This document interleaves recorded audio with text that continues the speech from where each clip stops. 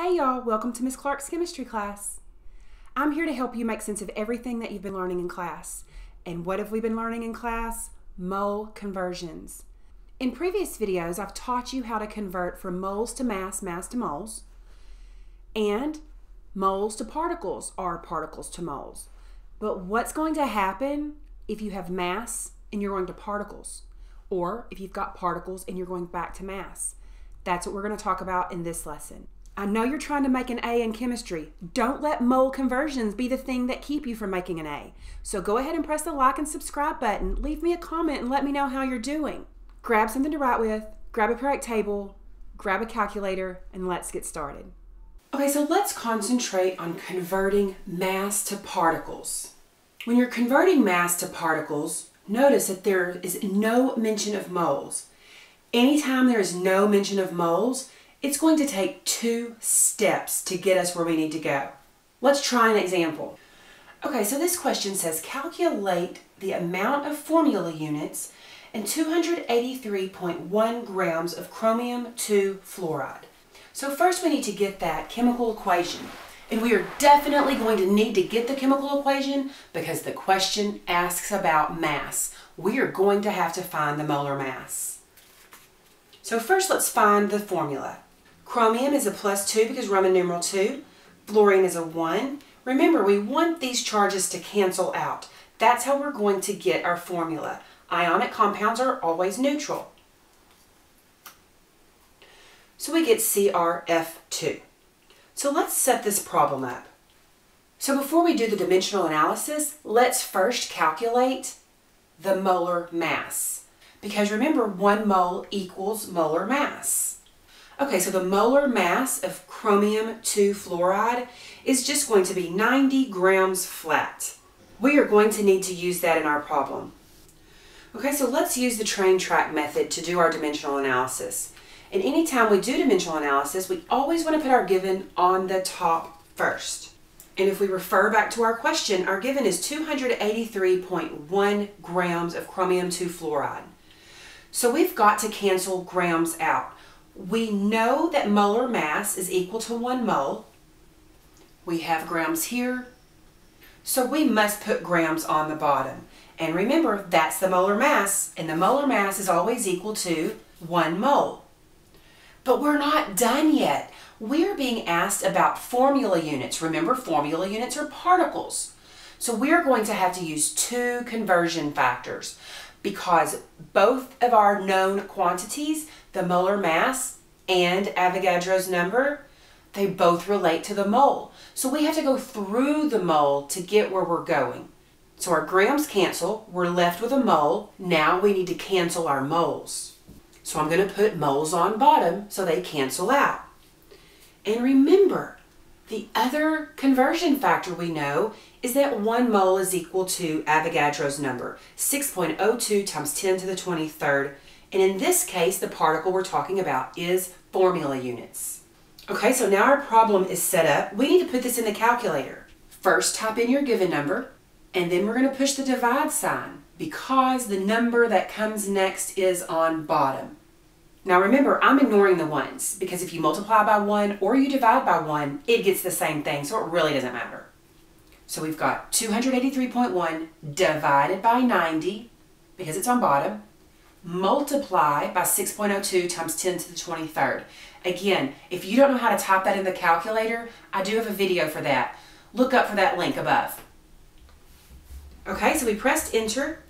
We want to look back at our given to figure out how many sig figs. 283.1, that's four sig figs. So when we type this into the calculator, we are going to round and so our final answer is 1.894 times 10 to the 24 formula units of chromium 2 fluoride. Let's work another problem so we can really make this sink in. How many grams are in 6.99 times 10 to the 21 molecules of carbon tetrachloride? The first thing we need to realize is this problem does not say moles. If it doesn't say moles, we've got to use both of our conversion factors one mole equals the molar mass and one mole equals Avogadro's number. We're going to use both of these in this problem. The next thing we need to think about is what is the molar mass? Well, the molar mass of what? carbon tetrachloride. That's just CCl4. Okay, let's calculate the molar mass. Okay, so we see the molar mass of carbon tetrachloride is 118.36. Now, I am kind of speeding right through calculating the molar mass. If you don't know how to calculate the molar mass using the periodic table, please go watch that video. That's very important that you understand how to do that. So the molar mass of carbon tetrachloride is 118.36 grams. That means so that means one mole of carbon tetrachloride equals 118.36. We're going to need to use that. Let's set up our dimensional analysis. We've got to put the given on top. We've got molecules on top. We've got to put molecules on bottom. And remember, if we put molecules somewhere, that's a particle. One mole equals Avogadro's numbers amount of particles. In this case, since this is a molecular compound, we're using molecules. But we're not quite done.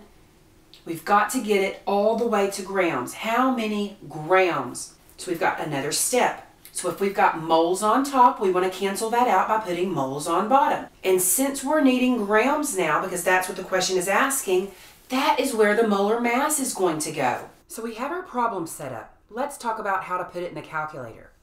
Type the given in first, 6.99 times 10 to the 21st. Since the next number is on bottom, we're going to press divide. Divide 6.02 times 10 to the 23rd. And then since the next number is on top, we're going to multiply 118.36. When we put that in the calculator, we need to round to 3 sig figs. And so our final answer is 1.37 grams of carbon tetrachloride. I have one more example to help us really understand this.